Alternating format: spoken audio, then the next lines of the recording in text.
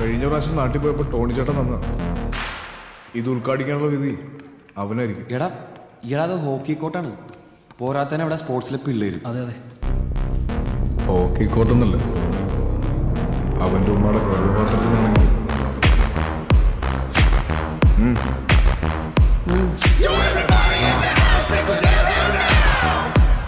ഇതിലാരടാ Saneesh?